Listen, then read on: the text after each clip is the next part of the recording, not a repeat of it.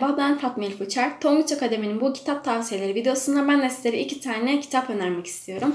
Size önereceğim ilk kitap İçimdeki Müzik. İçimdeki Müzik bizim günlük hayatta kolaylıkla yapabileceğimiz şeyleri yapamayan bir kızın yaşamını konu alıyor.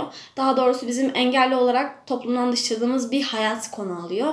Bu açıdan da sizin önyargılarınızı yıkmak için, farkındalığınızı artırmak için birebir bir kitap. Herkesin okuması gerektiğini düşünüyorum. Ee, bir sonraki önereceğim kitap ise John Steinbeck'ten İnci.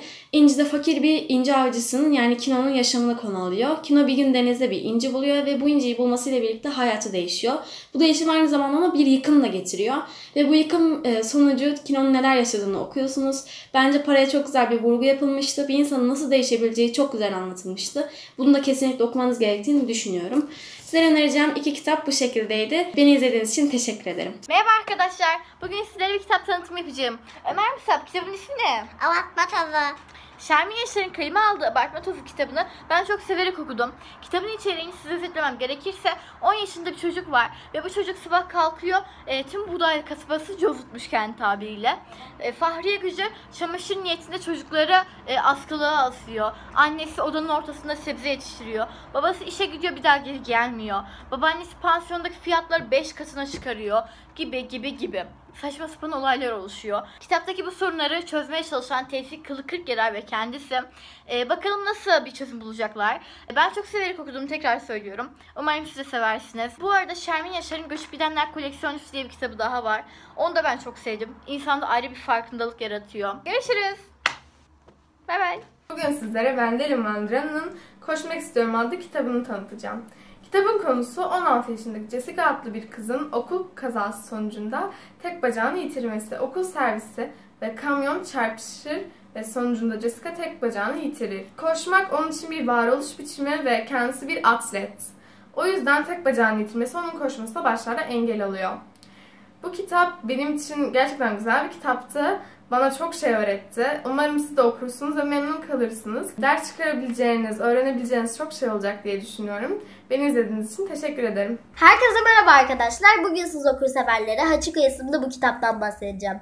Hachiko kitabı duygusal ama bir o kadar da harika bir olaydan bahsediyor. Bu kitap bize sadakati, bağlılığı, sabretmeyi ve umudu gerçek bir hikayeyle öğretiyor. Bu kitabın ana karakterleri muhteşem bir köpek ve harika bir profesörden oluşuyor.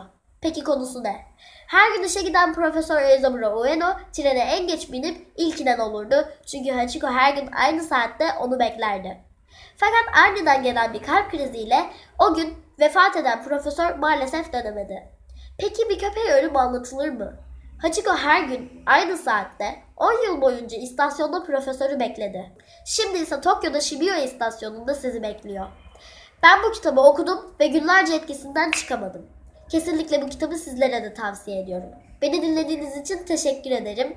Hoşçakalın, kitaplarla kalın. Hepinize merhaba arkadaşlar. Ben Gülen Nur Akışık. Bugün sizlere iki tane kitaptan bahsedeceğim. Ee, birincisi Her Şey Beyinde Başlar kitabım.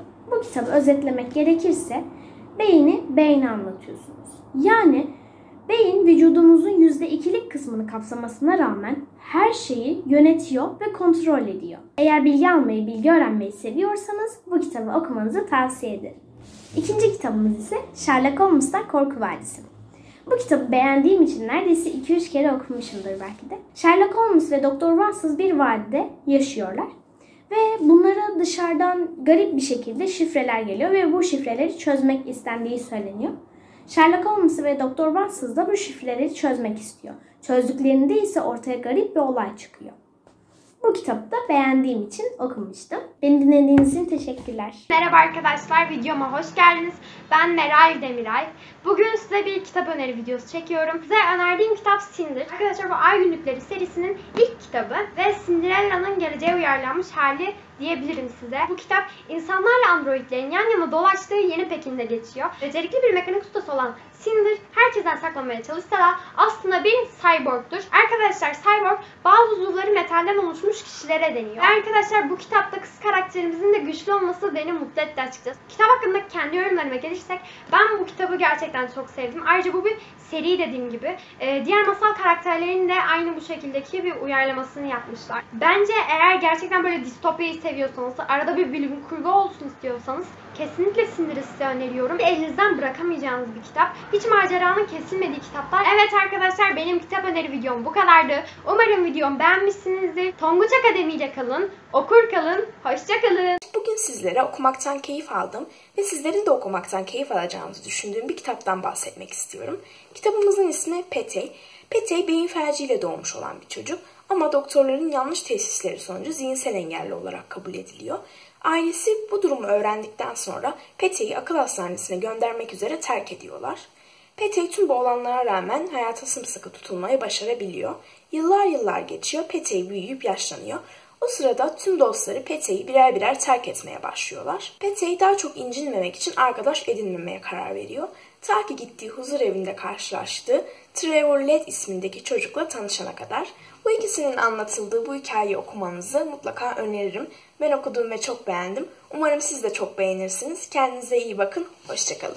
Herkese yeniden merhaba arkadaşlar. Tonguç Akademi'nin bu hafta sizler için seçtiği kitap Jack London'ın Beyaz Diş isimli romanı. Roman insanların arasına katılmak için ormanı terk eden vahşi bir köpeğin buruk ve duygusal hikayesini ele alıyor. Kitap ana fikir olarak da hayattaki zorluklara karşı ne olursa olsun elimizden geleni yapmamız gerektiği mesajını veriyor. Yine keyifle okuyacağınıza inandığımız bir kitap seçtik. Sizin de önerdiğiniz kitaplar varsa yorum olarak bekliyoruz. Hoşçakalın.